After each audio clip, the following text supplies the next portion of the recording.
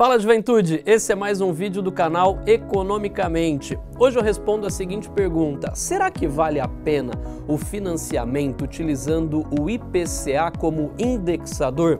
Essa é uma nova modalidade de financiamento liberada pela Caixa Econômica Federal. Acompanhe com a gente.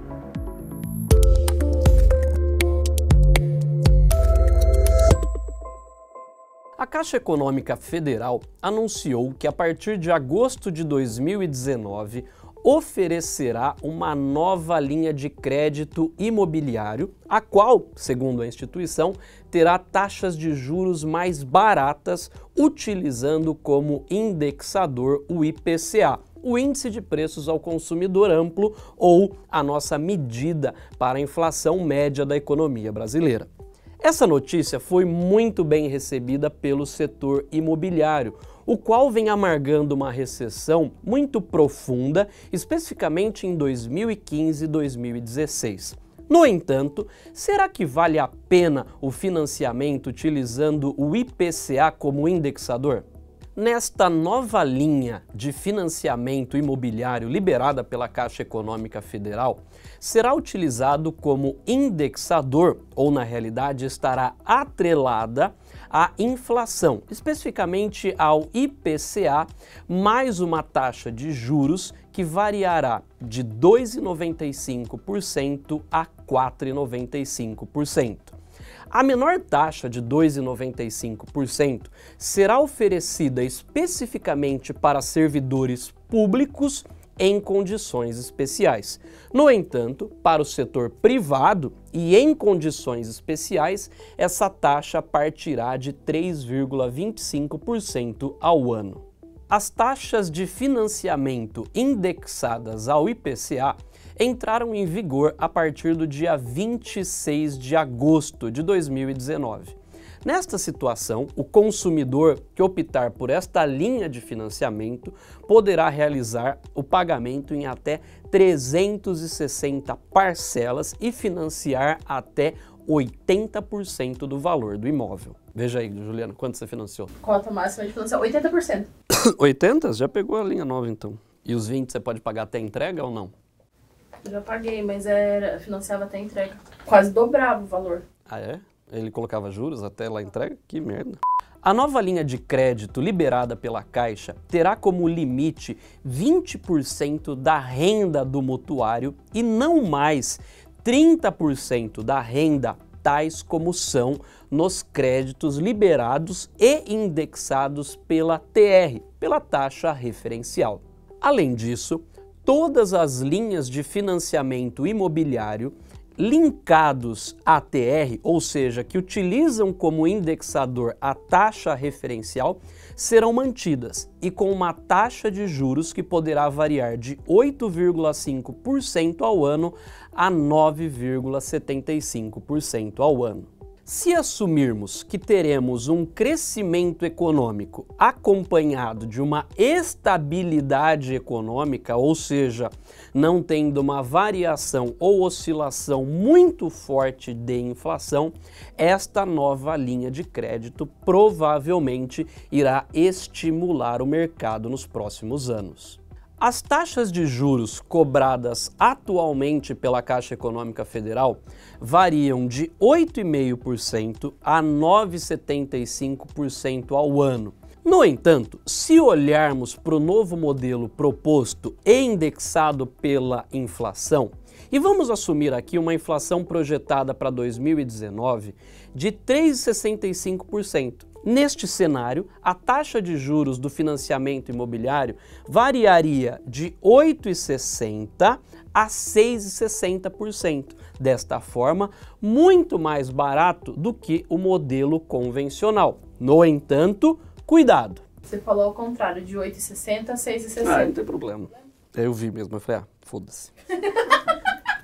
Demorei tanto tempo para acertar os números aqui. Cuidado para não escolher o modelo de financiamento baseado no tamanho da parcela, ou mais do que isso, se ela cabe no seu bolso. Atualmente, de fato, ela pode gerar parcelas menores, mas será que isso é uma boa solução e uma boa estratégia? Apesar da vantagem atual dado que o país vive uma taxa de inflação relativamente mais baixa, é importante perceber que o saldo será atualizado mensalmente pelo valor da inflação. Desta forma, você, consumidor ou mutuário, não terá como prever o valor das parcelas futuras. Neste contexto, nós temos um problema, para não dizer uma preocupação, caso a inflação aumente e o IPCA dispare. Com uma disparada no índice de preços, ou seja, caso a economia brasileira viva um novo período de inflação, tal como aconteceu em períodos recentes, assim como em 2016, o que você observará será um aumento do valor da parcela e, consequentemente, um comprometimento da renda familiar. Nós temos N casos de disparada da inflação. O risco existe, mas, considerando um cenário de estabilidade econômica, o financiamento atrelado ao IPCA pode ser uma boa situação. Entretanto, eu gostaria de deixar bem claro isto.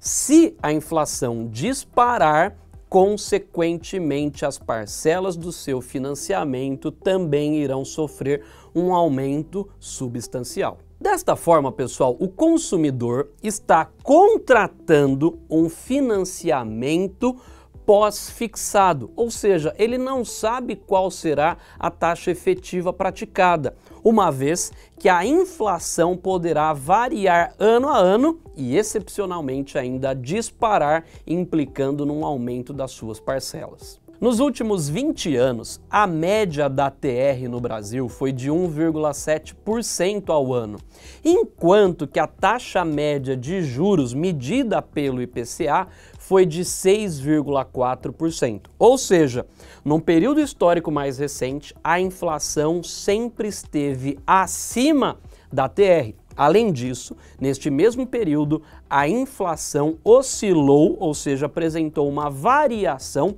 muito maior da TR, que acompanha em geral a própria Selic. Desta forma, o que eu estou colocando para você aqui é o seguinte: na prática, o que nós poderemos ter com esta nova linha de financiamento é algo mais arriscado e talvez mais caro.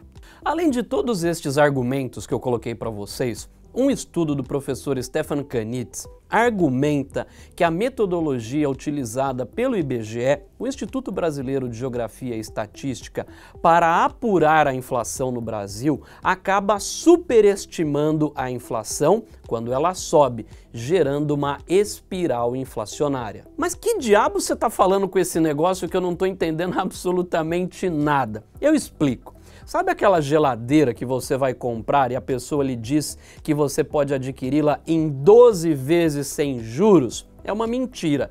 Tem juros ali sim, e o pior, tem uma inflação embutida de 12 meses que o IBGE acaba captando sem querer. A variável que explica a superestimação da inflação no Brasil chama-se prazo de crédito.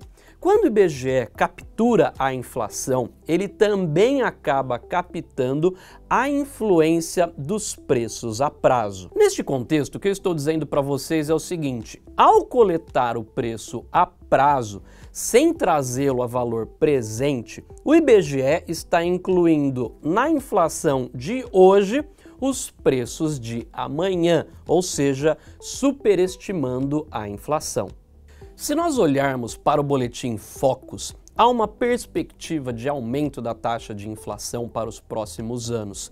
Isso é facilmente percebido, principalmente se nós tivermos uma recuperação da atividade econômica brasileira. Portanto, fazer um contrato de 30 anos indexado pela inflação pode ser uma excelente oportunidade, um excelente negócio para a Caixa, mas não para o mutuário.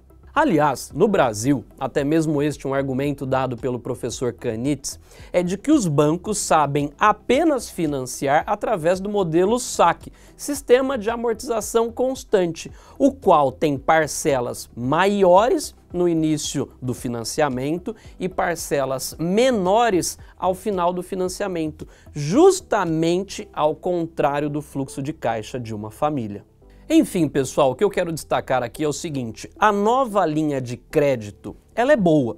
No entanto, você precisa tomar um cuidado. Fazer um empréstimo ou especificamente um financiamento imobiliário por 30 anos e atrelado a uma variável que no Brasil historicamente sofre uma intensa volatilidade ou oscilação pode ser um péssimo negócio.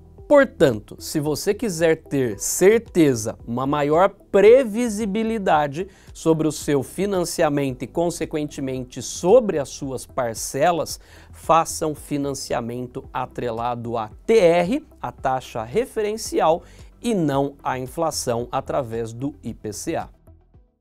That's all, folks. Isso é tudo, pessoal. Para finalizar, deixo aqui o meu recado. Cuidado com o financiamento atrelado ou indexado pelo IPCA. Ele pode ser uma fria. Se você gosta do nosso canal ou mais do que isso, acompanhe as nossas discussões sobre economia. Além do canal no YouTube, nós também estamos em podcast nas demais plataformas. Acompanhe por lá. Valeu!